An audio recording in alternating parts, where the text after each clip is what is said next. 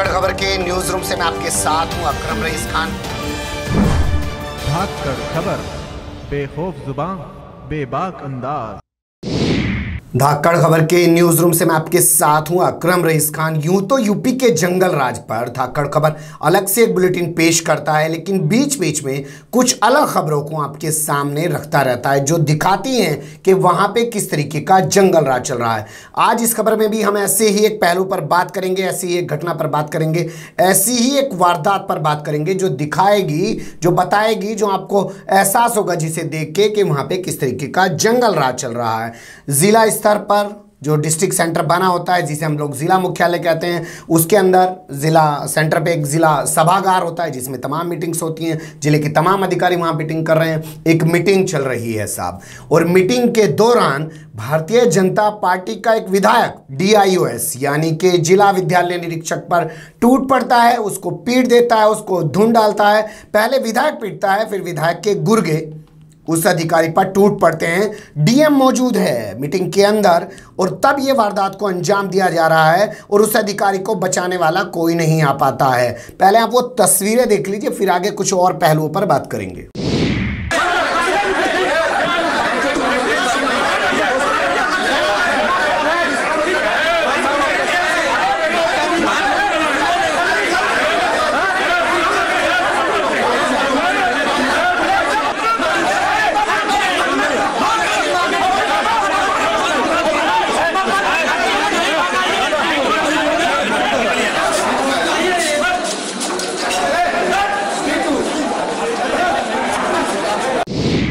अब आपके जहन में पहला सवाल पैदा हो रहा होगा कि यह अधिकारी साहब कौन है और क्यों इनको पीटा जा रहा है। तो पहले बताते हैं ये अधिकारी कौन है? यह अधिकारी हैं बलिया के जिला विद्यालय निरीक्षक।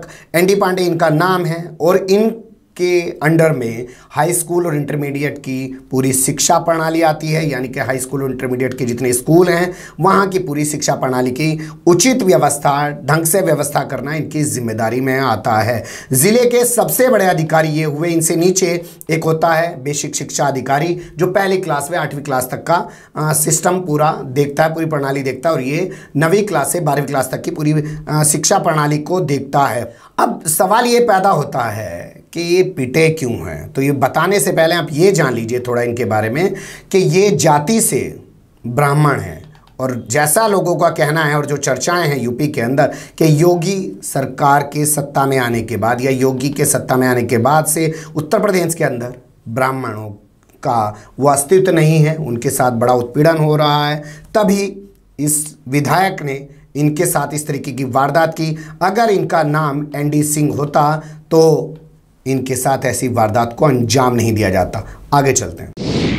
अब जान लेते हैं कि विधायक कौन है, जो अधिकारी को पीट रहा है। तो इस विधायक के बारे में जान लीजिए। बलिया ज़िले की बैरिया सीट से विधायक हैं सुरेंद्र सिंह। भारतीय जनता पार्टी के विधायक हैं, जाति से राजपूत हैं, यानी कि ठाकुर हैं, और सीधे सीधे सीएम आदित्यनाथ योगी की जाति से ताल्लुक रखते हैं, यानी उनके उनके बिरादर भाई हैं। यानी उन्हें प्रदेश में कोई कुछ नहीं कह पाएगा, कोई कुछ नहीं कह सकता है।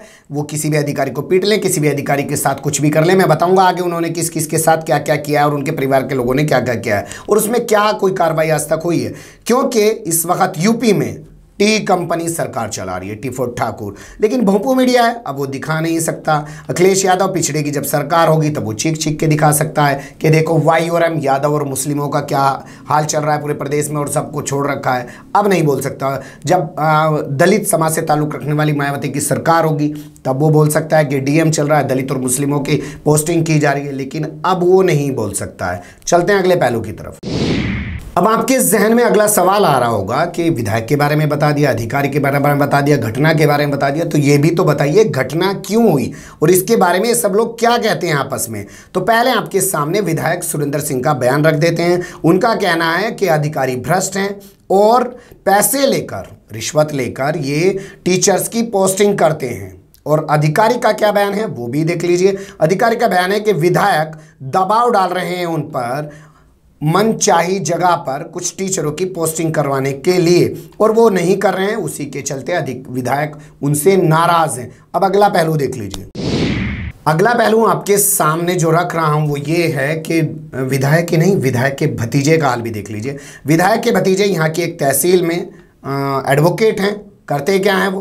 किसी लेखपाल से उनको कुछ काम पड़ता है, लेखपाल काम में उनका आरोप है कि आनाकानी करता है, रिश्वत माँगता है, यहाँ भी रिश्वत मांगने का आरोप लगाया और ये उस लेखपाल की धुनाई कर देते हैं, इनके खिलाफ एफआईआर दर्ज हो जाती है, पूरी तहसील के अंदर स्ट्राइक कर देते हैं, तमाम जितने अधिक कर्मचारी हैं, वो लेकिन खूब धरना प्रदर्शन करते हैं और इस विधायक के भतीजे के खिलाफ कोई कार्रवाई नहीं हो पाती, योगी सरकार में आखिर होगी भी कैसे, ये भी गौर करने वाली बात है।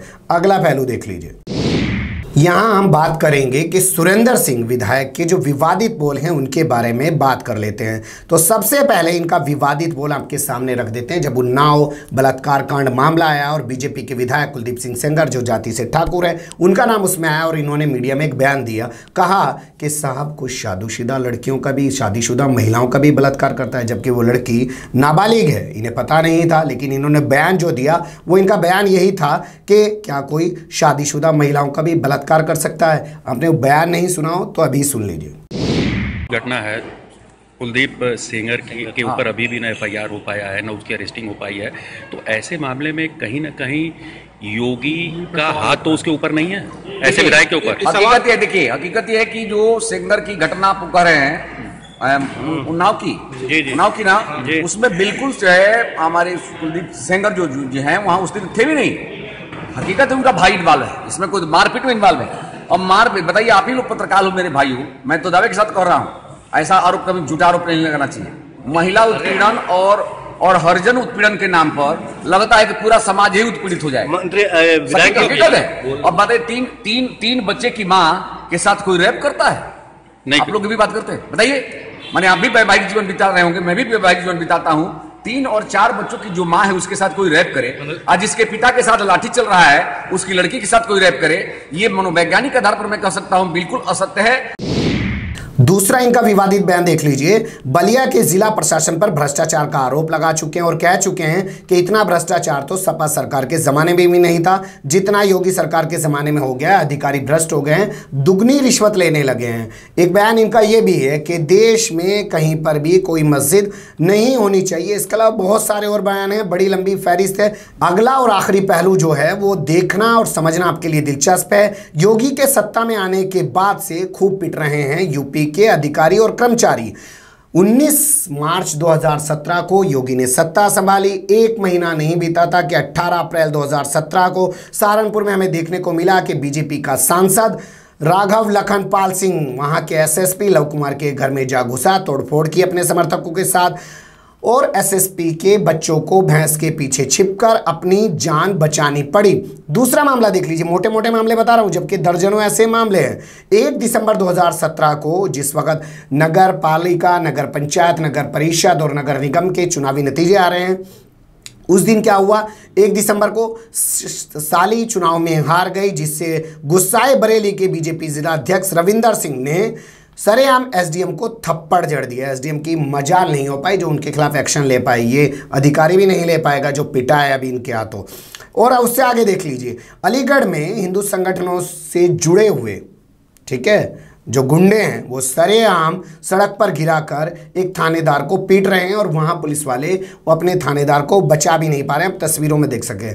मैंने जैसे कहा कि दर्जनों ऐसी वारदातें हैं और ये तभी से होनी शुरू हुई हैं जब से योगी ने सत्ता संभाली है, लेकिन भोंपू मीडिया सपा की गुंडई पर बोल सकता है, लालू प्रसाद यादव की गुंडई पर बोल सकता है टीएमसी यानी कि ममता बनर्जी के कार्यकर्ताओं की गुंडई पर बोल सकता है, लेकिन यहाँ इनकी गुंडई पर नहीं बोल सकता, पर आप ज़रूर बोलिए। कैसी लगी आपको खबर? कमेंट्स के रूप में आप लोग अपनी राय दे सकते हैं। खबर को लाइक कर सकते हैं, चैनल को सब्सक्राइब कर सकते हैं, ज़्यादा से ज़्यादा हमारी खबरों को शेयर कर सकते हैं। ऐसे ही फिर किसी सुलगते हुए या उलझते मुद्दे लेकर मैं आपके सामने हूँ हाजिर। फ़िलहाल अभी मुझे दें इजाज़त।